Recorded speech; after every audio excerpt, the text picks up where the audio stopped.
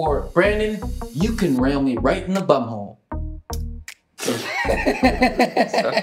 they found 16 heads. 16 human butt. heads in his fri- in his freezer. Yeah. You've been spiritually pranked. Oh! Cut. Jeremy, how about you? You do it? Go for it. Uh, okay. Yeah. If you want me to.